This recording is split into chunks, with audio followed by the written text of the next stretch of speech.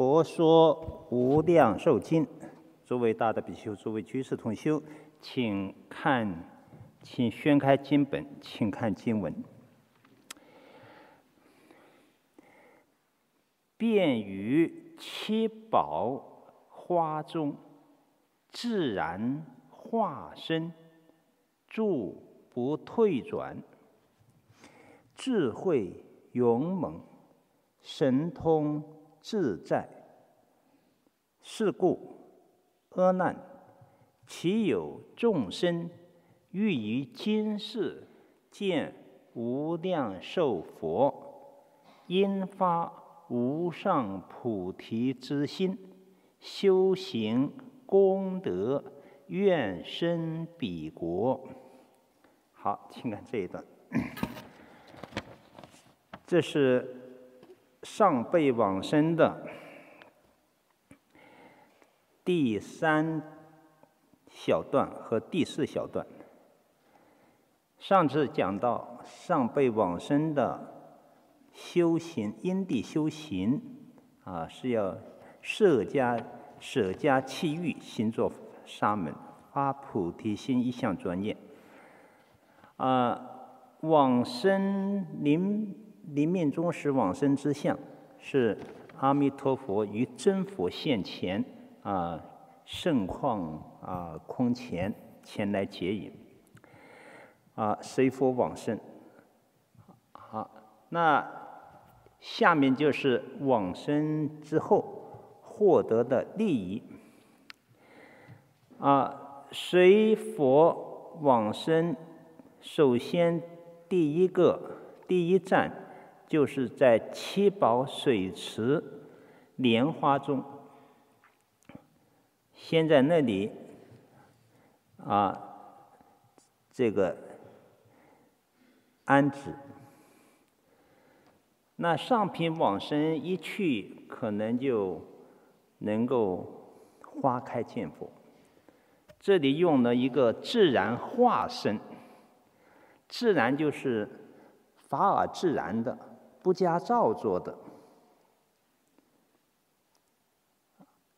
那这个自然是来自于阿弥陀佛的愿力的呈现，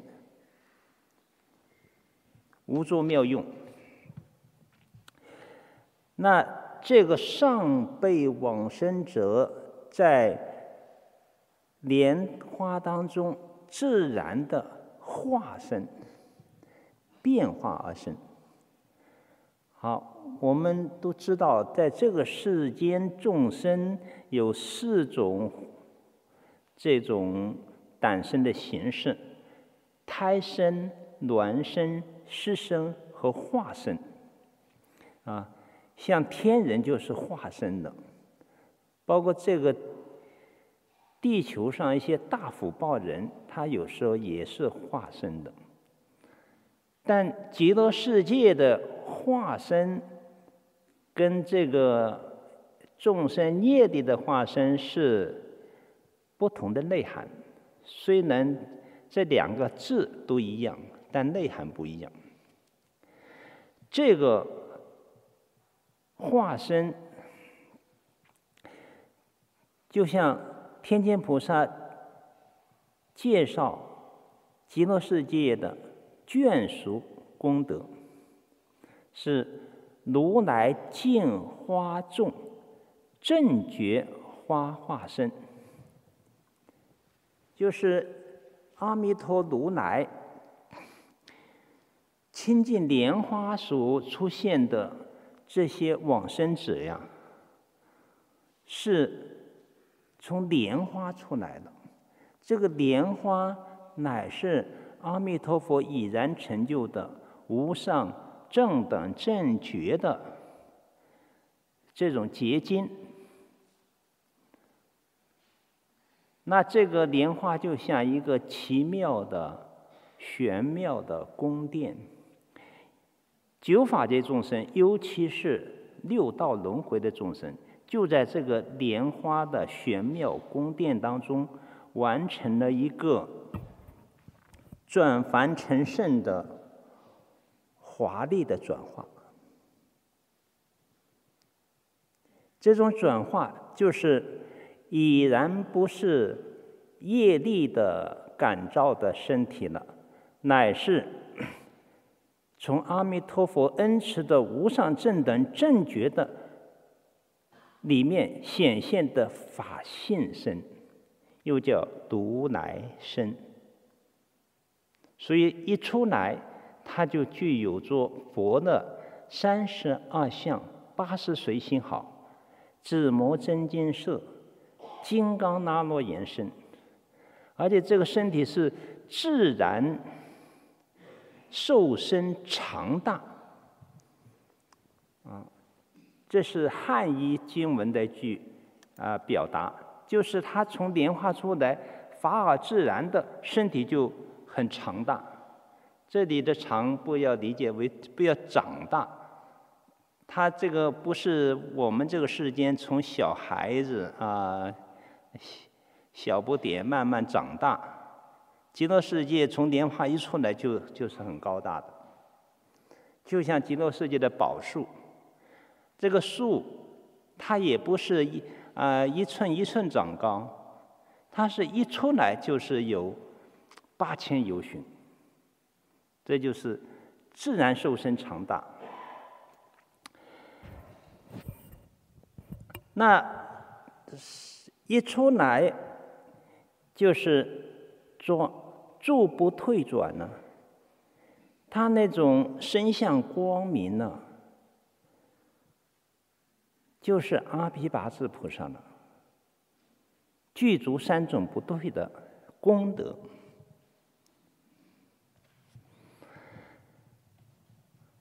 那这样，大家看，在十方其他的刹土，一切众生都是按照自己的业力去诞生，所以它有差别之相。长相有美丑，福报有大小，智慧有浅深，啊，身高有长短，甚至。这个身体就是血肉之躯，到了极乐世界就完全是大平等的境界了。由于这些往生者的因都是同一念佛无别道，通佛法界之内皆兄弟也。就是他们都是信愿称名往生的，这个妙因就能够产生妙果。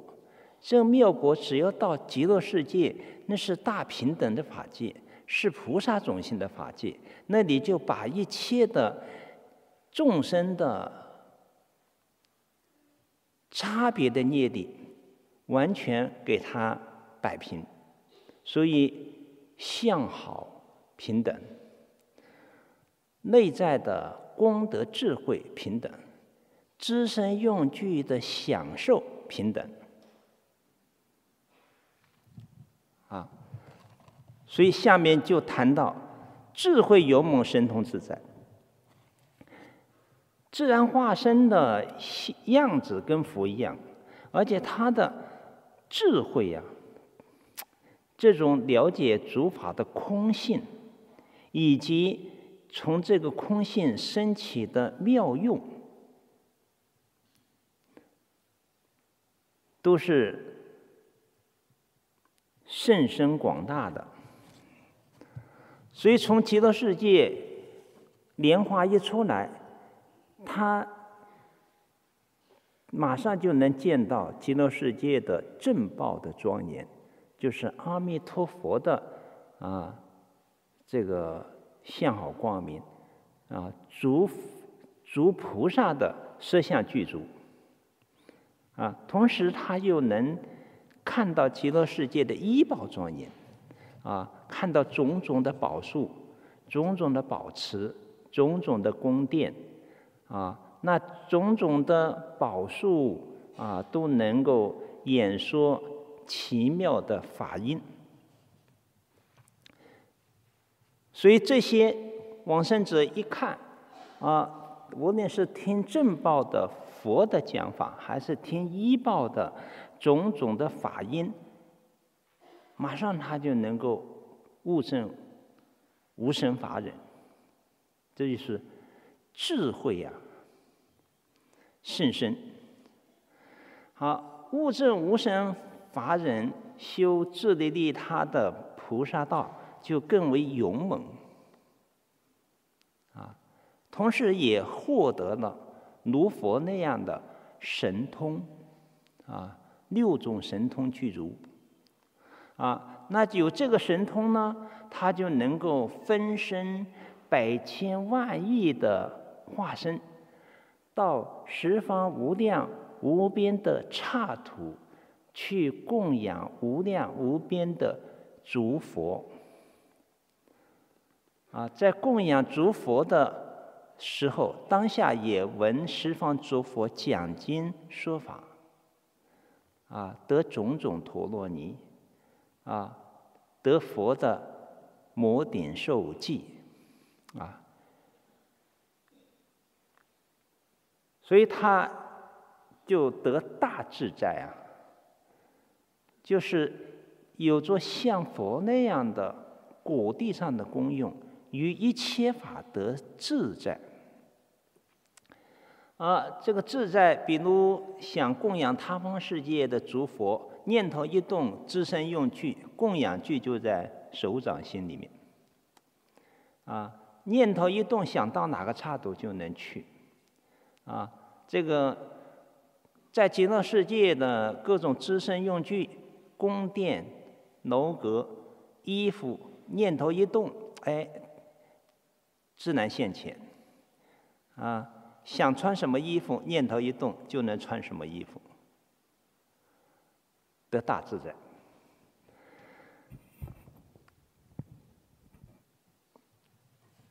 好，这是往生的利益，这只是用智慧勇猛神通自在八个字来表达，其实展开就能够含摄着。阿弥陀佛，四十八大愿对一切往生者的那种全面的加持在里面。好，下面就是呃，在上辈往生的行因、临终往生的对象、往生之后圣庙的利益。表述之后，就有一个总结性的劝勉，啊，所以就告诉当机的阿难，啊，岂有众生？这对于十方佛刹而言，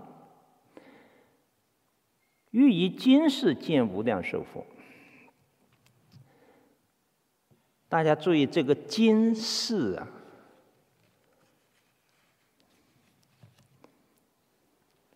鉴别于命中之时，所以命中之前见阿弥陀佛。那这个这种要求就比临命终时见佛，有的往生者孽障很重，还临命终时虽能西方三圣现前，他还看不到佛。只看到莲花，他只能到极乐世界花开见花开了才见阿弥陀佛。啊，刚一花开，由于孽障重，还看得比较迷糊、恍惚、不清晰。啊，所以这个大势至菩萨念佛圆通章讲。一佛念佛现前当来必定见佛，就是十方一切的信愿称名的人，无论他支持名号还是意念佛的相好光明或者一正庄严，他必定是可以见到阿弥陀佛。但是见阿弥陀佛呢，由于功夫的浅深。有两种情况，一种是现前见佛，见见就是这样的今世在你的还活着的时候见阿弥陀佛。那功夫不得力的，就当来见佛。当来见就是未来你能见佛。当来就包含着临命终时阿弥陀佛现现前，以及那个时候见不到，再到极乐世界再去见，所以无论是现前当来，但你只要念佛，必定可以见阿弥陀佛。那这里对上辈往生，你是一个比丘、比丘尼啊，是一个舍家弃欲而做沙门的专业人士，专门修道的人，就提了一个比较高的标杆。你要今世见无量寿佛，应该怎么做？好，从我们。净土往生的公案来看，有诸多的高僧大德是今世见佛的，啊，比如慧远大师，他在临终的时候前七天，啊，在定中就见到阿弥陀佛。还有很多的化佛，阿弥陀佛告诉他：“我以本愿力故来安慰你。七天之后，汝当往生。”啊，跟阿弥陀佛前来的还有已经提前往生的这些慧勇啊，啊，佛陀也使啊。刘一鸣呢？他们是先慧远大师往生的，也跟着一起来迎接。好，那慧远大师看到这个情景，就告诉弟子们：“我往生的时候到了，而且他一生有三次见佛的宗教体验。”好那唐代的怀玉禅师，他也是啊念佛非常的精进，啊发愿要上品上身，啊结果临命终时来的是拿着银莲花来，他就不愿意上去了。我试取金台啊，啊银台就赐了一。赐了一个备品了，哎，马上他这个银台消失，啊，他就精进的一天念十万声佛号，二十一天之后，那阿弥陀佛跟观音世智又盛况迎切，那第二次来迎了，这时候拿的是金色金莲台啊，就上品上身。那怀疑禅师也就属于这个寿终之前见佛的体验。啊，唐代还有个智觉法师，他是见啊铸造了一个四十九尺的一个大佛之后，就发愿早点往生。啊，提前往生。那阿弥陀佛和观音世智啊，现在他面前，跟他摩顶，告诉他，保持里面有你的位置，但你现在还要在这里度众生，时间没有到。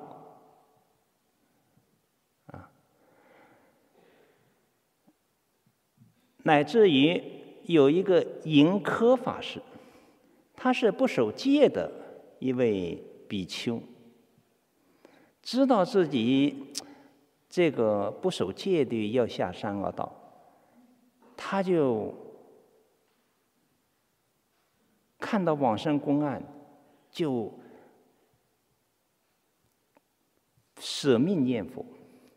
哎，这个念了七天，还真的阿弥陀佛现前了，他等于见阿弥陀佛了。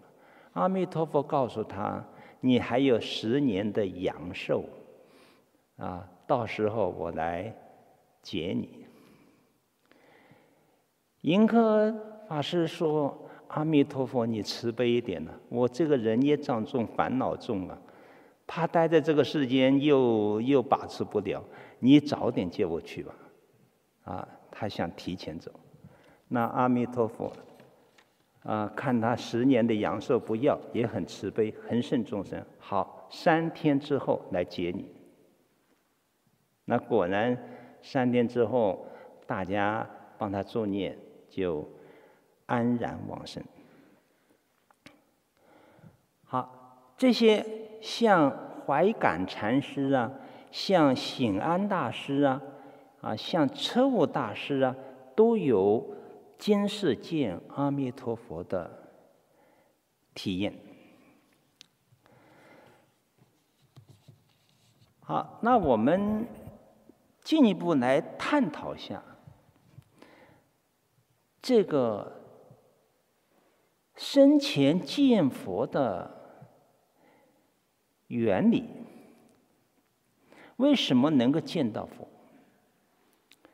这是一个净土中非常重大的一个问题啊！当年慧远大师跟鸠摩罗什大师的提了十八个问题，记载在《大乘大义章》里面。其中第十一个问题，慧远大师就问念佛三昧所见的佛。是自佛还是他佛的问题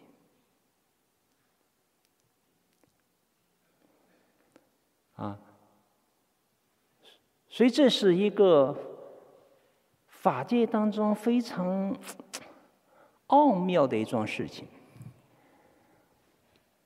我们在这个世间见闻觉知的都是现象界轮回的一些情形。所以，你在一个无论是念佛三昧的定中，乃至于是在梦中见阿弥陀佛，这是不是一个非常神奇的神妙的事情？那阿弥陀佛为什么能见呢？他跟众生是什么关系呢？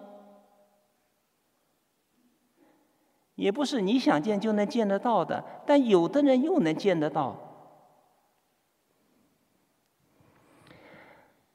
就像鸠摩罗什回答慧远大师说：“有三种见佛，第一种是得神通的菩萨，他可以见佛，无论是在三昧状态，还是他以神足通飞到他方世界去见佛，这些是没有问题的。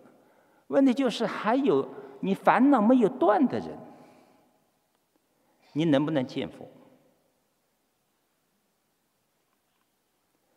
哎，那净土法门给出了一个答案：虽然你见识或没有断，但是你只要持戒、持戒清净，对阿弥陀佛有甚深的信敬之心。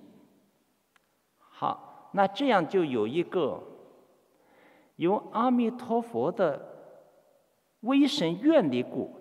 以及你念佛三昧力故，就能够众缘和合，让你能够见阿弥陀佛。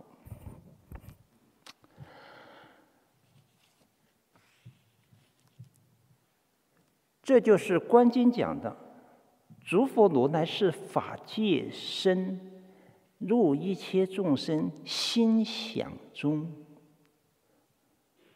哎。这就开始就建，就建立了一个能够见佛的一个基本原理，就是阿弥陀佛的法身落在我等众生的心里了。好，那为什么他能落到我们心里呢？是阿弥陀佛切证了真如法性，然后在因地发了慈悲的。这个四十八大愿，要用这个愿力啊，度脱十方九法界众生。于是这样的一个愿，就从真如法性那种不生不灭的状态，升起了一个不可思议的作用。这个作用是无着妙用，就能够随众生的根基，让你得到见佛的利益。这就是《华严经》有个偈子啊。佛身充满于法界，普现一切众生前，随缘复感米不周，而恒处此菩提座。你看啊，其实十方诸佛共振一法身的佛都有这这种能力。那我们具体到阿弥陀佛，他的法身是遍满整个虚空法界的。所以，他就普现在一切众生的前面，就是在我等众生的心里，他能够呈现。但呈现的一定要有一个能感和属因呢？阿弥陀佛的属因的功德已能成就，那就看你有没有能感的机缘。这叫随缘，随众生的机缘，这种。属正的法身愿力，就能够应这个机缘，能够呈现佛像。那呈现的佛像，有的如果是凡夫还有孽世的心，他可能见到的是应身佛；如果是法身的菩萨，他见到的是报身佛。又随众生的心的清净程度所见到的不同，那这里确实比较神妙了。阿弥陀佛七尊的法身是不生不灭的，但由于阿弥陀佛的本愿功德，令彼或持名或观想的众生，啊，由于专心想念，能够在自心见佛。那所见的佛，你说是智佛吧？他是阿弥陀佛愿力所成。你说是他佛吧？又不离自信。所以佛的法身展然常寂，众生还是生灭性见有去来。所以这个见佛常常是有一个比喻，如镜中形，非内非外。能感的众生的心，就像这面镜子。阿弥陀佛现现在镜子里面的那种形，你说，那这个佛是在里面呢，还是在外面呢？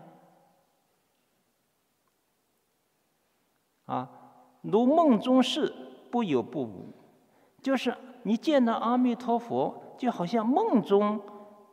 的事情，你说他有吧？醒来是没有。你说他无吧？哎，又梦境必然。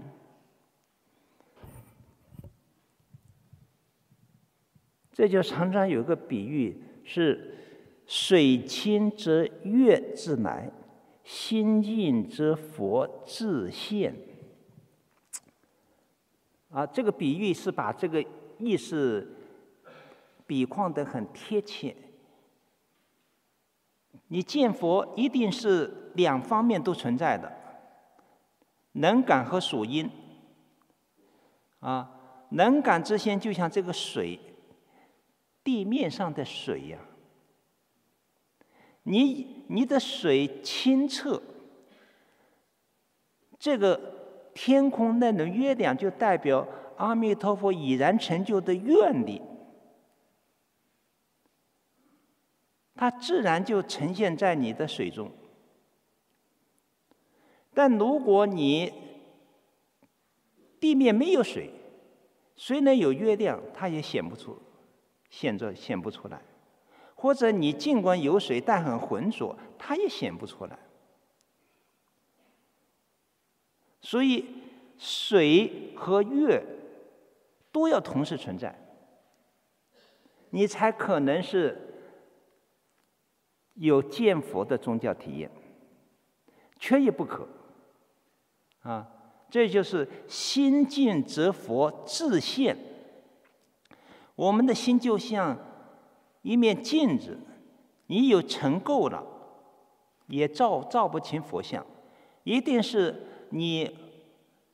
你磨磨洗的比较清净，哎，佛就呈现他的影子了。而且这个心境则佛自现，还不仅仅是那种啊为师是为师属性，它是一个能感和属因感应道交的产物。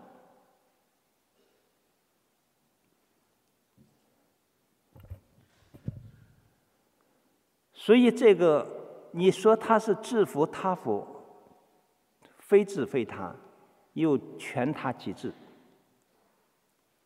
感应道交，不可思议。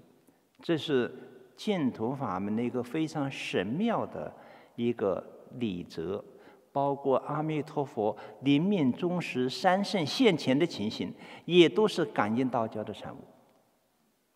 不是阿弥陀佛啊，真的。从十万亿佛刹之遥远地方，你要往上赶紧跑过来啊！他为什么有有的句子说，念佛人阿弥陀佛都在接引，我念佛阿弥陀佛来接引，他念佛也接引啊！一万个众生念佛都一万过来接引，那阿弥陀佛忙得过来吗？他不需要忙，感应道教啊！这个世间的一轮月月亮，只是一轮月亮。千江有水千相切，更何况阿弥陀佛切证了法身的实相，又有他愿力的成就，啊，所以是心作佛，是心是佛呀，啊，是心作佛就是你支持名号或者观阿弥陀佛三十二相，这就等于。你当下这个心在作佛，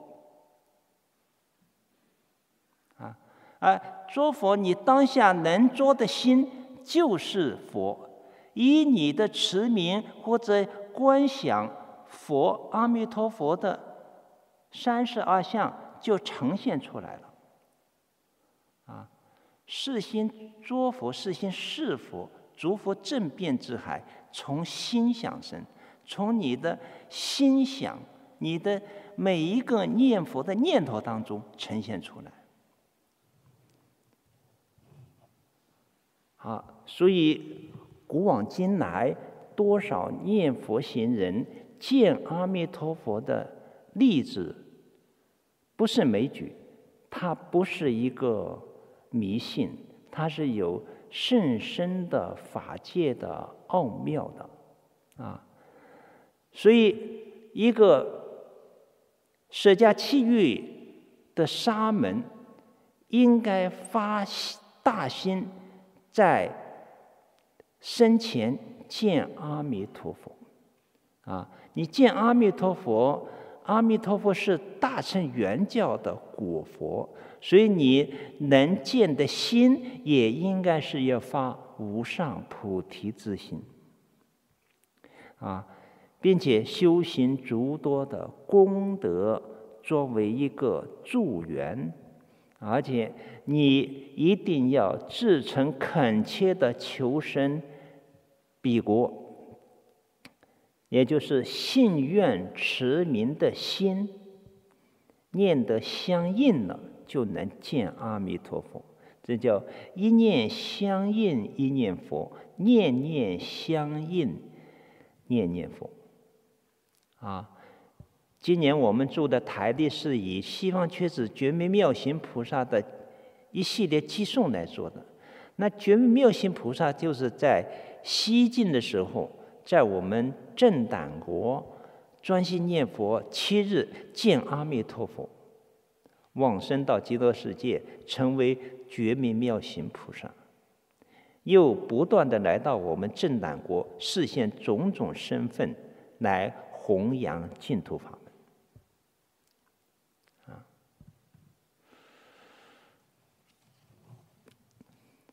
好请看啊，这是上辈往生，请看下面。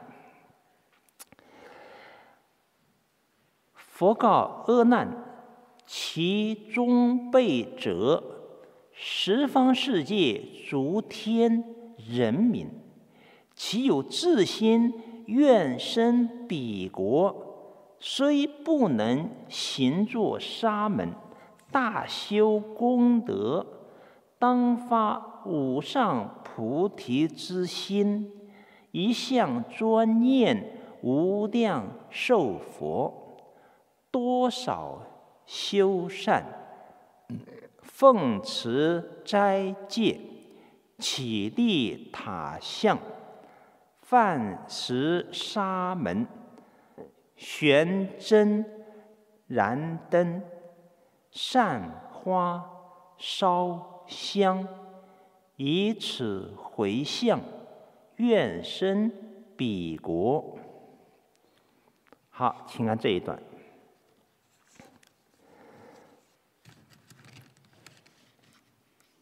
这就讨论中辈往生的因行果报，分三个层次展开。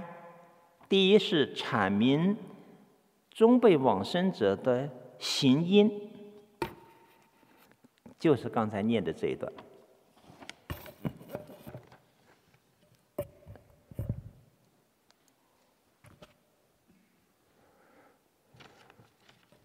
佛又告当街的阿难尊者：中辈往生的是什么因行呢？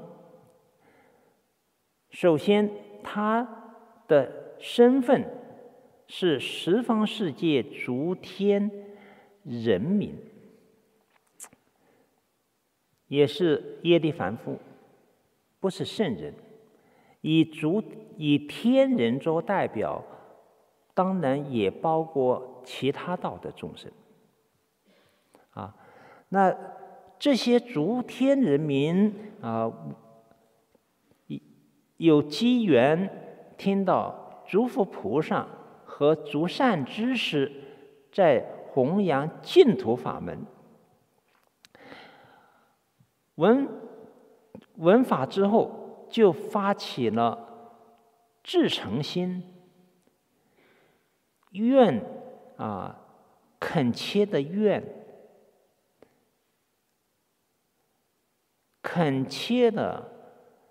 愿意往生比阿弥陀佛的刹土。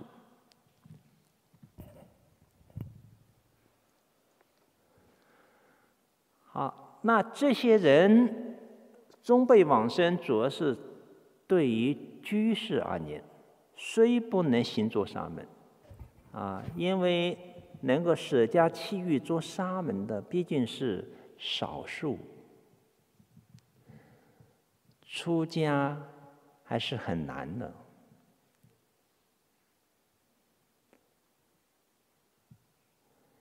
尤其是末法的时候，呃，出家人将会越来越少。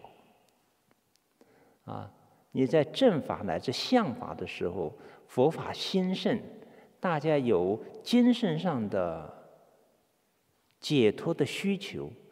而且他有智慧，他相信佛法的真理性，而把精神追求远远放在物质的之上，他才有可能去行作沙门。那未来的时代，众生的福报越来越差，智慧越来越浅。他对于佛法的真理不一定有信心，或者有一定的信心，不一定迈出这一步。啊，你看我们中国在魏晋南北朝的时候，是出家人最多的时候。那段时间，你别看政治混乱，整个的啊社会动荡不安，但在中国历史上，魏晋南北朝时期是精神追求最高的一段时间。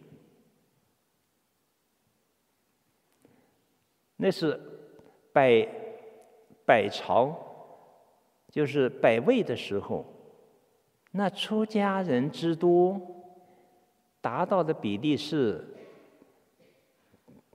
百位人口只有四千万，出家就有二百万出家人，也就是二十分之一呀，这么高这么高的比例啊，那。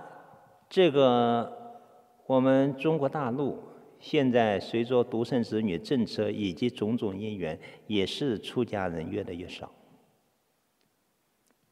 啊，所以这个出家人以后真的叫生宝啊，宝就是有稀有、稀有性。啊，好，所以大部分有信仰的他还是。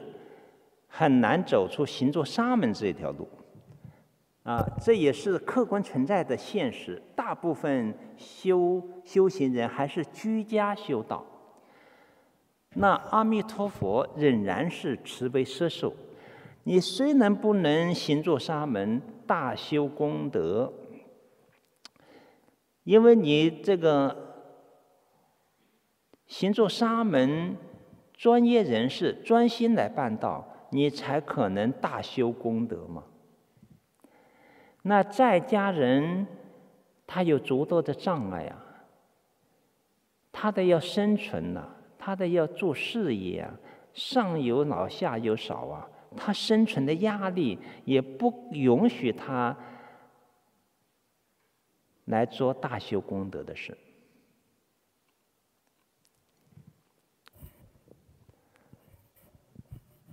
好，虽然不能大修功德，但往生的一个共有的条件不能缺少，就当发无上菩提之心。你当下这一念无上菩提之心，具体到净土法门，就是信愿称名往生成佛的心，你要发起来。那这一般也不容易啊。虽然念佛很多，真正把念佛指向成佛目标的人，不是所有的人呐。很多人念念佛啊，求个身体健康，啊，求个升官发财，啊，甚至说念一句佛号会多一个元宝，哎，下辈子到阴间去用，啊。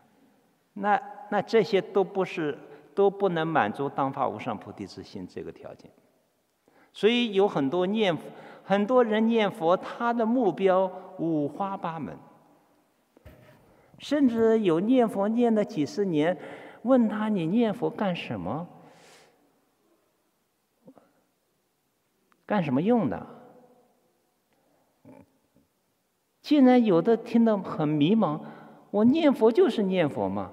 还为了什么吗？你你说糊涂到这，念了二三十年，不知道念佛是干什么的。他没有念佛往生净土的概念，所以这个净土法门得要去说呀，不说他糊里糊涂。我念佛看到别人念，我也念嘛，啊。好，当法无上不对，这就信愿之心。然后落实信愿的，就是一向专念无量寿佛。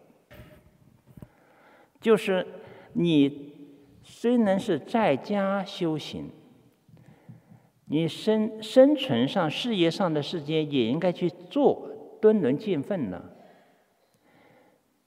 但剩下的时间要把它。好不容易有点时间精力啊，要用在念佛上，不能说下了班或者公休日，哎，去搓麻将，去逛公园，啊，去找朋友去啊闲聊，喝小酒啊，其实真正有精神追求的人呢，他是要面对自己的，他是要减免一些可有可无的人际关系的，因为生命光阴太宝贵了。一口气不来变成隔世啊！你的要有真为生死如就投然的心呢，啊！除了必要的工作做完之后，剩下的就得要诵经念佛，尤其是一向专念无量寿佛，啊！这个在家居士要一定要把念佛生活化。念佛生活化，生活念佛化，把你这句佛号贯穿在你二六时中的一切可能的作物里面。比如你在家里做家务，这是没办法，必须要做的。那你洗菜的时候可以念佛吧？切菜的时候可以念佛吧？炒菜的时候也能念佛吧？而且你念佛炒的菜还更好，更好吃啊！啊，我们为什么要在东林大佛说一个黄打铁往生的公案呢？就是他这个，你让他也没有出家的条件，甚至也没有整块时间来修行，他就问一个比丘有不有一个不妨碍我工作的修行法门？我一天不打铁，就一天没有生计呀。那那个老比丘就给他介绍念佛法门了。哎，你一边打铁一边念佛，啊，这是念佛不爱打铁，打铁不爱念佛。哎，黄打铁这个试一试，果然好。他的妻子还嘲笑他：“你这个抡大锤打铁已经够辛苦了，还加上念佛，不是更辛苦吗？”这黄大铁说：“不是这样，他发现念佛在抡那个铁铁锤呀，觉得更轻松了。啊，在那炉火前念念佛，还不是那么烧烤的样子了，还比较清凉了。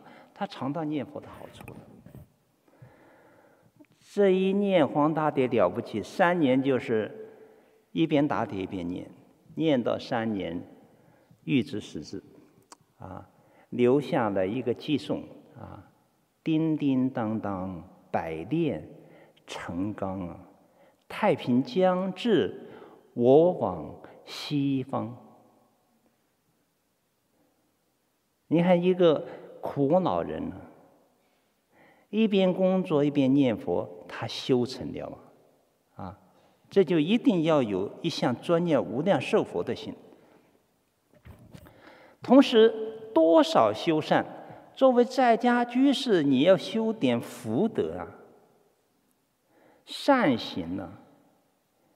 净业三福里面有十一种内容啊，不是说我就专念佛，什么都不管的。所以多少就是或多或少，随份随力的修种种的福善。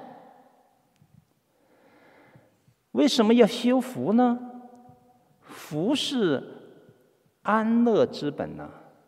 你要获得世间的安乐，你都要修福德呀。你要得真正解脱，就得要有般若智慧呀。所以，福德和智慧是两个轮子啊，缺一不可的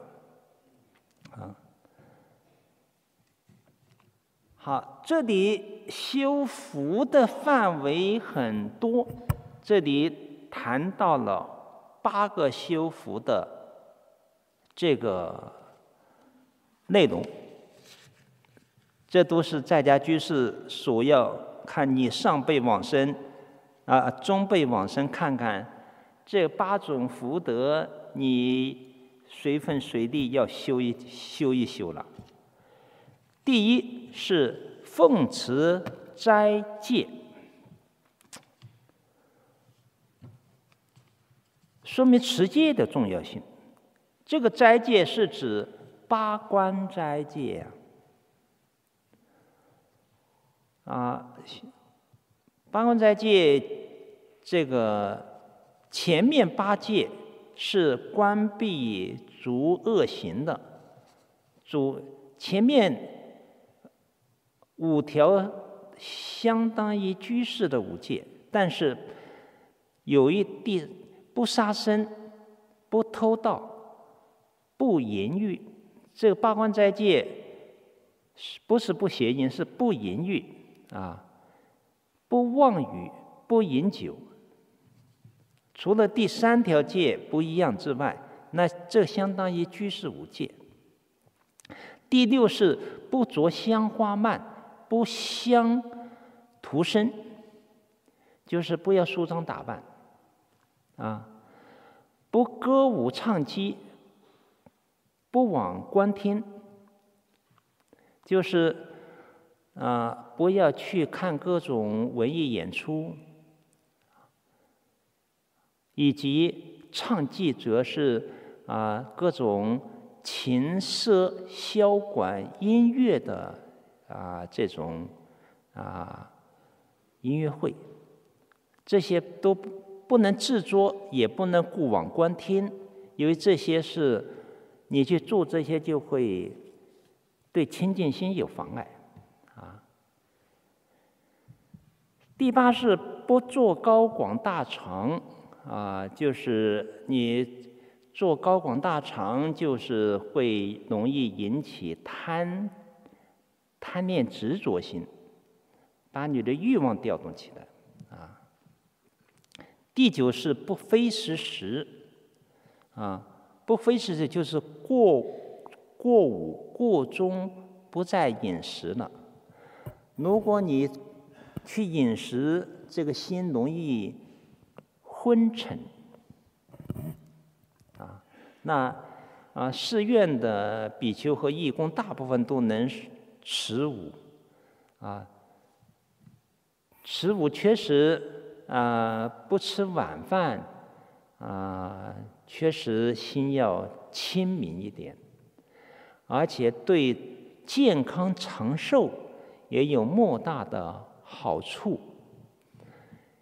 现在有生物学家他研究，如果一个人连续十四个小时。不进食的话，肠胃就会分泌一种长寿素，它能使人健康长寿。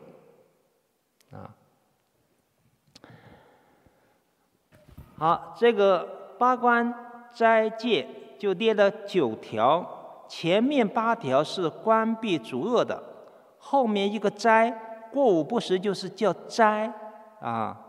就令自己的啊心心神比较清明，正念昭著啊，这是佛很慈悲，令在家人受出家戒啊。所以，既然是修出出世界间的善根，你就是一日一夜不淫欲，要吃好这一条。啊，当然八关斋戒是一般是一日一夜去受，也可以啊连续受，当然要日日啊受啊连续持，但要日日受，这是要请比丘在佛前去说的啊，这叫八关斋戒。第二是起立塔像。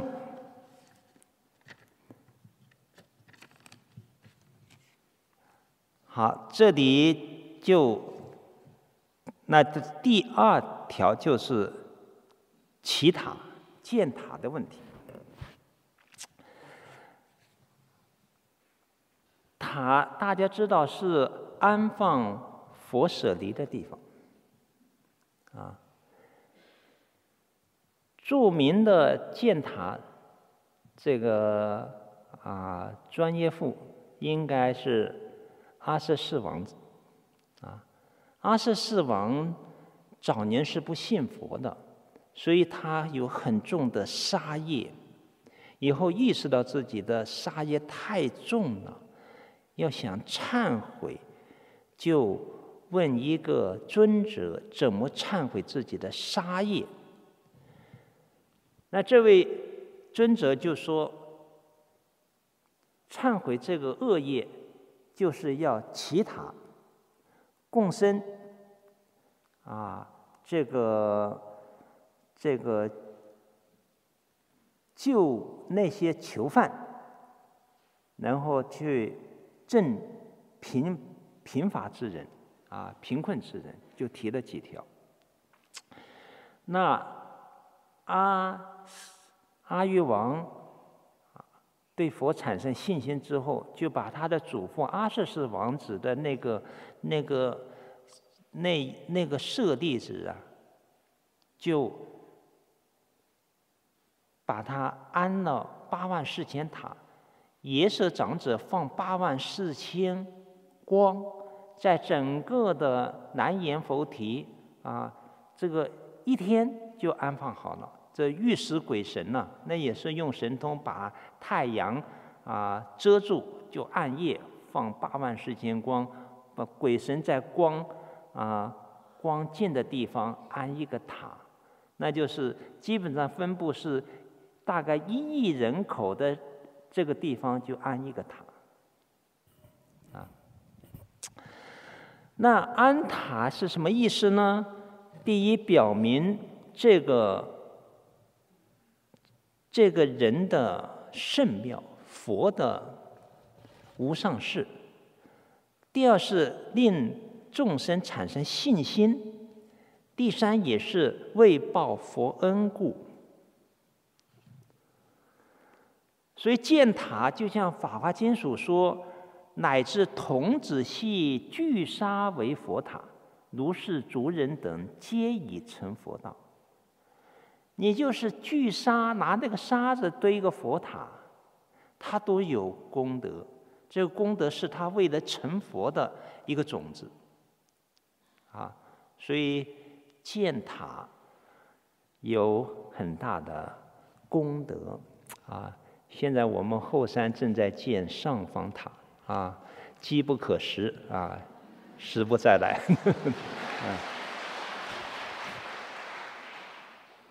好，第二是照相，就是照佛的形象，或者是木刻的，或者是泥塑的，或者是铜铸的。或者是彩绘的种种啊，塑佛像。啊，早先造佛的是优田王。优田王是佛有一次下安居的时候，升刀立天为母说法。那优田王觉得很久没见佛，非常思念佛陀。就用牛头旃檀雕了一尊佛的等身像。等到三月之后，佛下来啊，三道金阶下来，那这个啊，优田王用大象啊，就是运这个佛的啊旃檀像去迎接。啊，这个木佛迎接真佛，而这两尊佛放在一起，你还辨不出啊真假，栩栩如生，啊，栩栩如生。佛还摸摸着这个木头佛说：“说你等我灭度之后，就靠你广度众生，大做佛事了。”啊，你看，而且。佛就跟优田王讲的照相功德呀，啊，说如果有人做佛形象，功德无量无边呢，不可称计。啊，他呢能够天上人中受快乐的，受种种快乐。他每一次身体都是紫磨真金色，啊，造佛像的人最终都能升到阿弥陀佛的佛国，终当作佛。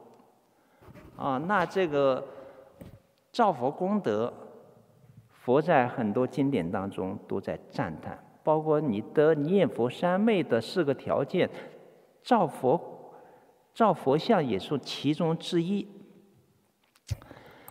啊，《法华经》所说：“若人为佛故，建立诸形象，雕刻成众像，皆已成佛道。”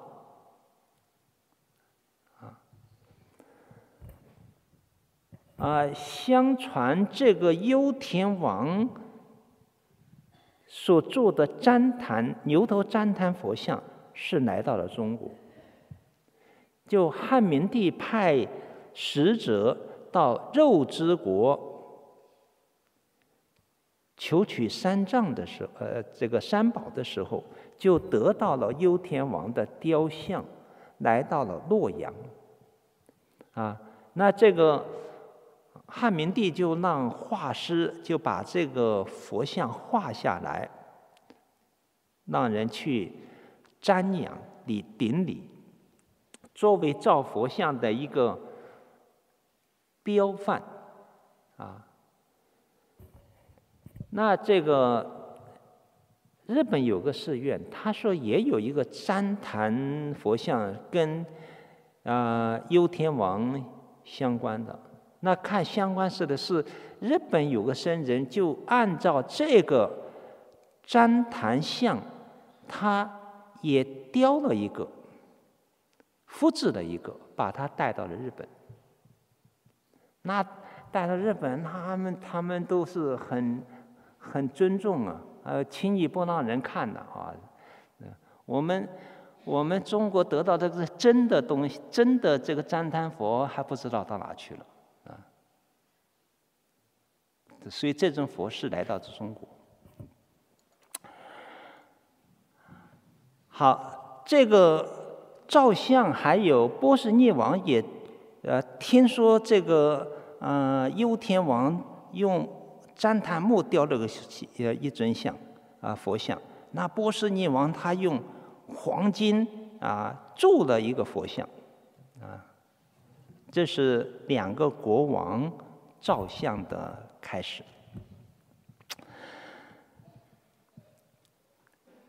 那么我们东林大佛阿弥陀佛的佛像应该要。随喜赞叹海内外的广大的居士功德主，同心同德，把这尊佛像终于耸立在庐山鄱阳湖的啊这个边畔。这个佛像它立的纬度就是北纬三十度，啊。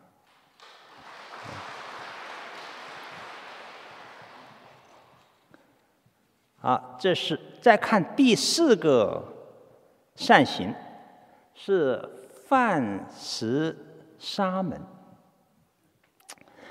就是对出家的僧人，你的要做世事供养，啊，世事供养就以饭食作为一个标准。施食啊，经典云呢，你就是拿一世天下满满世天下的珍宝，它的价值很大，它的利益还不如请一个清净沙门到你家里来供养，所得到的功德来得大。就是你供养出家人、亲近修行人，功德很大。啊，那事实供养饮食衣服、汤药、卧具，有时候是房舍，就是出家人你供养不要供养的他太奢侈，就是基本的生活条件。啊，佛陀在世托钵，他就是日中一食嘛。他穿的点衣服也不费什么，你就是随便什么衣料给他就可以嘛。啊，那生了病给他点药物嘛。啊，这个啊需要一点房舍提供一下，就基本的生存。啊，所以这也表明啊，修道人呢。也得要少欲知足，不能有过高的要求，要么信众是承担不起的。啊，我要手机，要最高档的，人家是我自己都买不起，我还能供养你吗？嗯，他不是这个样子的，啊，这个为什么要犯是沙门？就是你要出家人，他是修无为法。出家人不能去干那些赚钱的事情。如果一天到晚想到我也开个公司自食其力啊赚钱，他就没办法修道了。所以居士做财布施，比丘做法布施，他是这么一个双双向的。你出家人啊修无为法。诵经念佛要通达佛理，那居士他有世间的事业，他有他的福报啊，然后他供养你沙门最基最基本的生存条件啊。你看，无论是这个天竺国，包括现在南传佛教，他会居士请啊请沙门去应供，到家里应供，那都是。啊，精美的饭食提供之后，这个这个比丘，啊，一用完斋饭，人家居士就拿个小凳子坐坐在旁边，就在听你说法了。啊，是你不是吃完了就就走的，你都要说法，你才吃得消的，要么你消化不了这顿饭的。啊。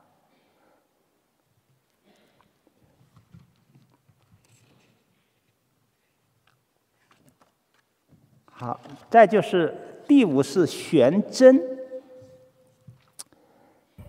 啊，针就是现在的讲翻，啊，幡有五种颜色，五彩斑斓，啊，悬挂在佛殿道场或者塔前，啊。现在我们东林大佛净土院那个广场，那个就是广场是悬了幡的，啊，写了一些佛菩萨的这个名号。那这个幡也有时候叫续命神幡，它可以延消灾延寿。这也是阿育王啊，他建了很多的塔，在印度本土就是一千二百塔。他原来有个心愿，就想亲自给每个塔悬这个五色幡，悬幡，结果他生病了。做不了这个事了，所以他就很很后悔没有早做。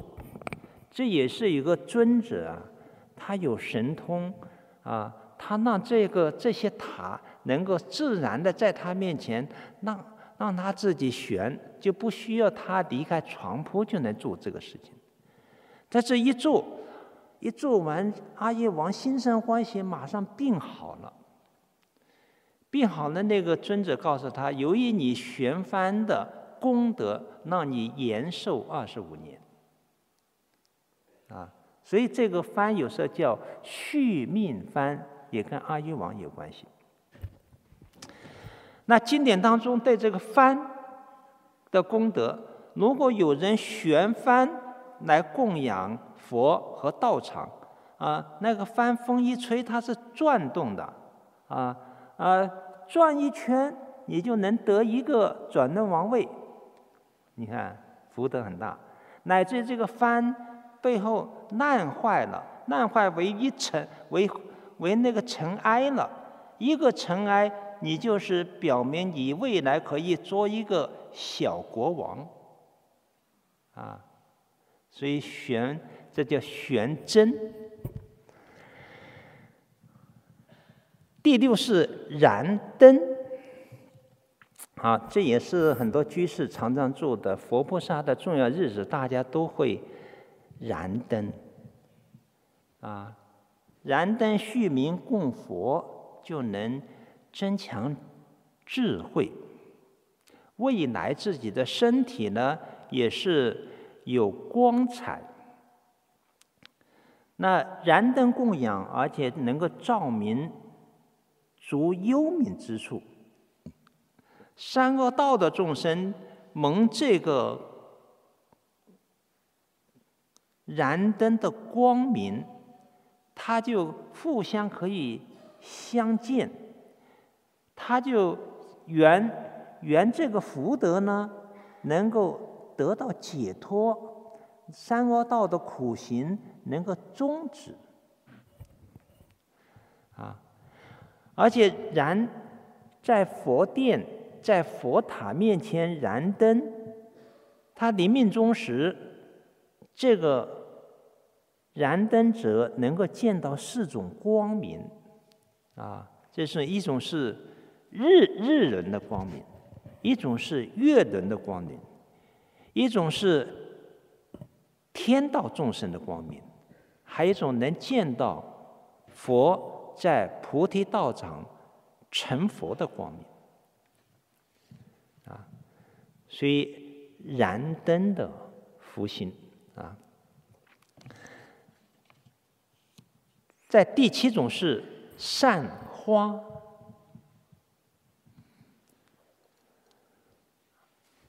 善花供佛以及慎重。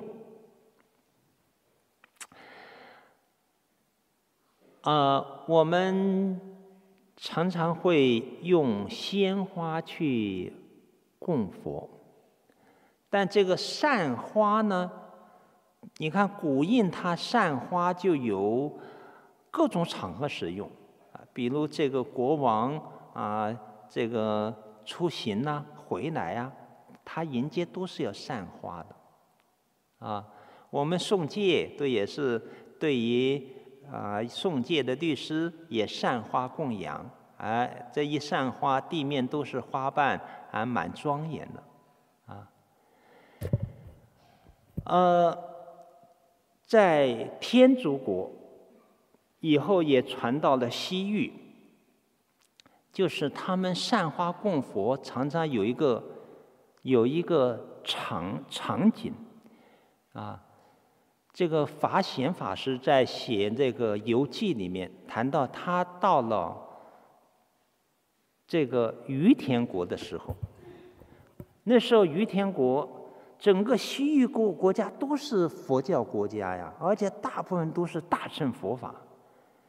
那于田国从国王到一般层面都是信佛的佛教国家，那出家人也很多啊，一个寺院都是。几千个僧众，他们每年有一个叫形象节。形象节就是释迦牟尼佛的降诞日，佛诞是四月初八。四月初八呢，他们从四月初一开始到初十这十天有个形象节。形象节就是什么呢？他选了十个大寺院，把十个大寺院的佛像抬出来，放在一个华丽的车上。啊，那这个这个佛像前面是种种的仪仗队的供养啊，各种音乐的供养啊，这个还有一些菩萨声闻金刚来伴随啊，就在整个的，比如这个城市里面去去行走供养，然后家家户户都出来。啊，焚香、散花、供养，甚至那个国王也把这个皇后啊、王妃呀、这个这些王子啊，还有大臣呢，全都出来在路路路边焚香、散花、供养。他这个那是万人空巷啊。那整个的就是非常吉祥、非常庄严的一个佛事，连续要做十天，这成为一个节日，叫形象节，啊，这个法显法师在他书里面讲说，他从来没有看到这么盛大的场面，啊，他们几个比丘啊就在那里看了十天了，啊，观摩了十天。那这个习俗在呢以后在百位时候啊，哎，它也是传过来了啊。这个这个车上载着佛像啊，在大街小巷行走啊。这个皇帝亲自啊，在这个门楼来临观散花致敬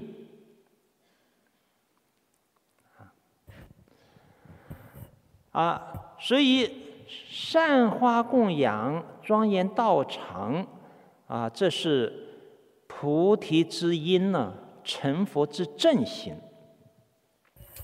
《法华经》云：“若人散乱心，乃至以一花供养于画像，就是佛的画像，渐渐无数佛，就渐渐渐。”你能够有这个散花的功德，能够见到无数的佛。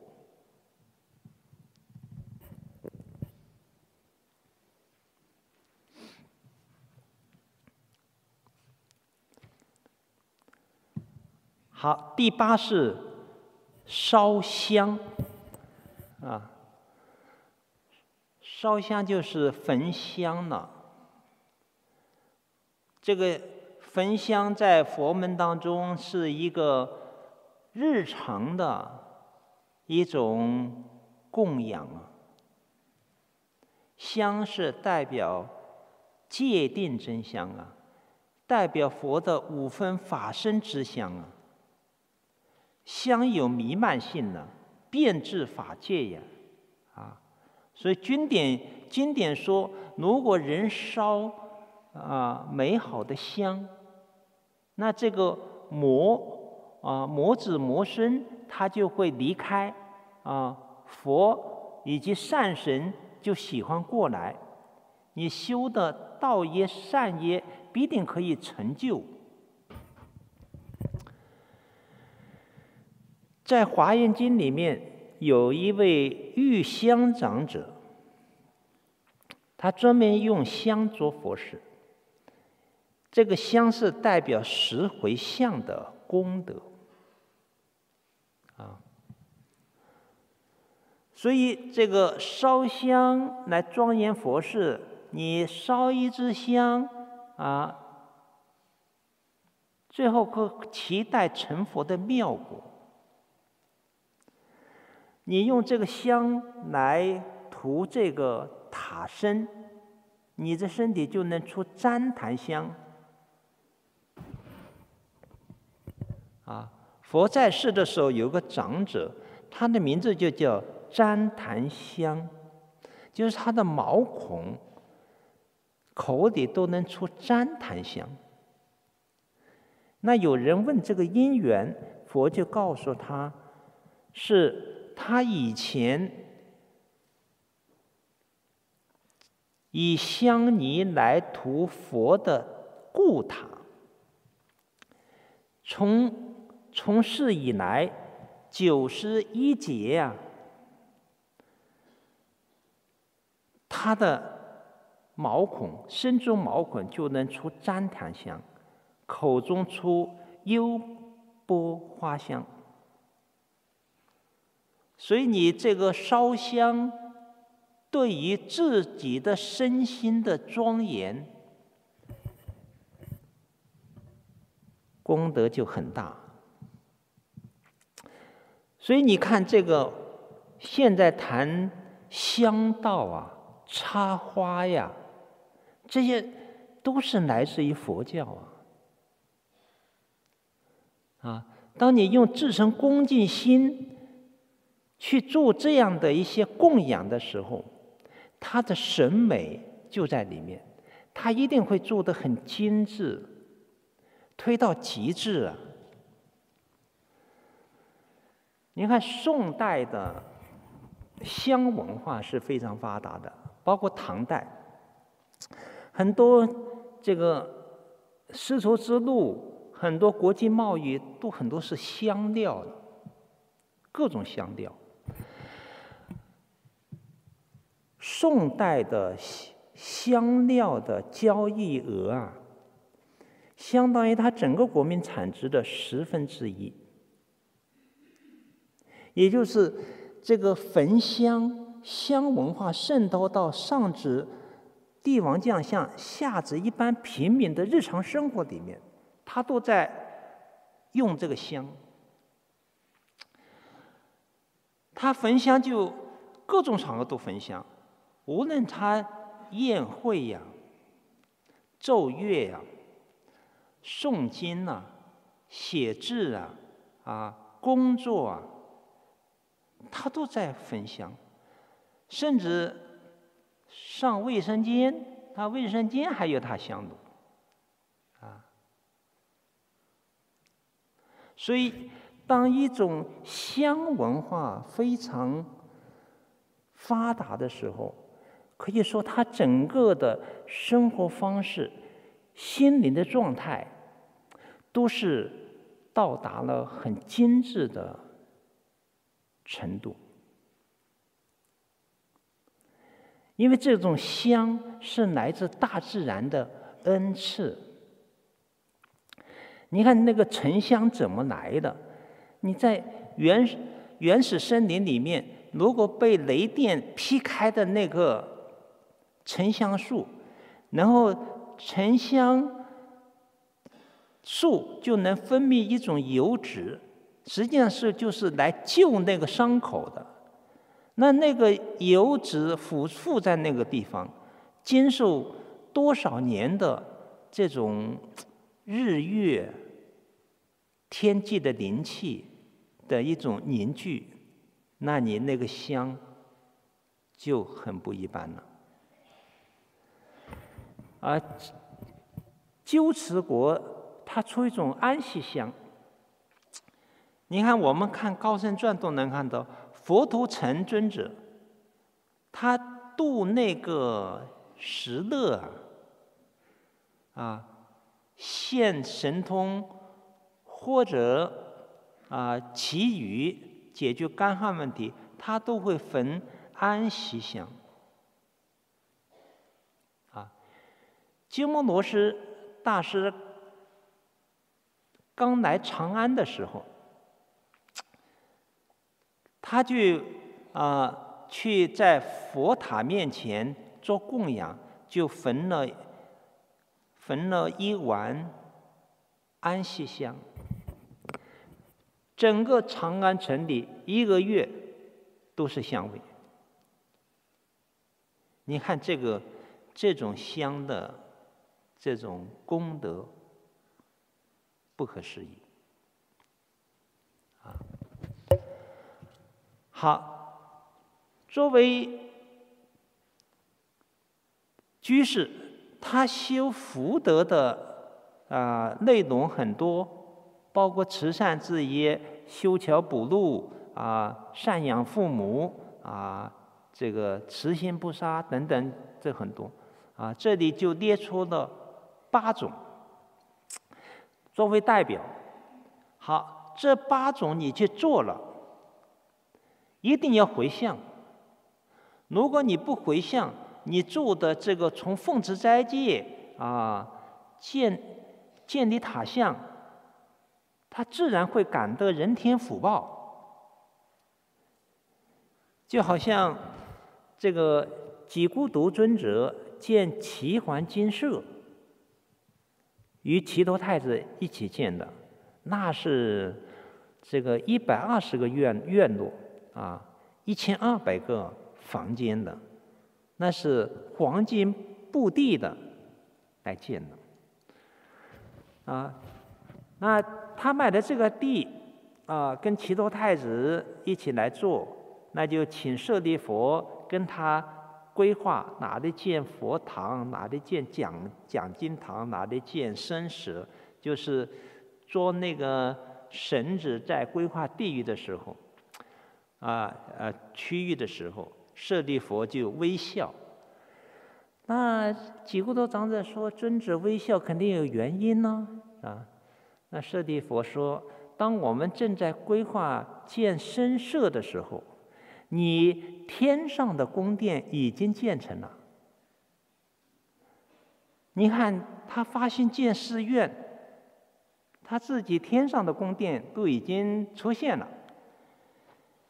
那几孤独长者听了一方面欢喜，另一方面心里还是真的吗？啊，那舍利佛借道眼给他，让他自己亲眼看到。刀地天堂就有金光灿烂的一个宫殿，就是等着他去的，啊，所以他自然会感知人天福报的。所以在这种情况下，作为一个已经发信愿心求生极乐世界的人，专念佛的人，不能把这些啊呃善行感人天福报，那是。得不偿失的，于是一定要自成回向，啊，就是把这些福善回转回转过来，向指向一个目标。这个目标就是什么呢？所有的福德功德都求愿往生。西方极乐世界，那这个这个回向就具有具有你的善根在里面，具有你的智慧在里面，你就把自然感人天福报的这个福善，转为了一个往生极乐世界的资粮，你成佛的资粮，啊，你要这样这样去做。才是非常有智慧的，包括你在寺院做种种功德，都得要一种无着的心，就是一种空性。你不要去执着那些有为的东西，空性是无为的东西。当你能够三轮体空的去做的话，你当下你的功德就无量无边。当你执着一个有相的时候，那，那你的福德也被你有相的狭劣心变得比较小了，啊，哎，要有无住相生其心的般若智慧，啊，修其善法，即得往生净土，圆成佛果。好，南无阿弥陀佛。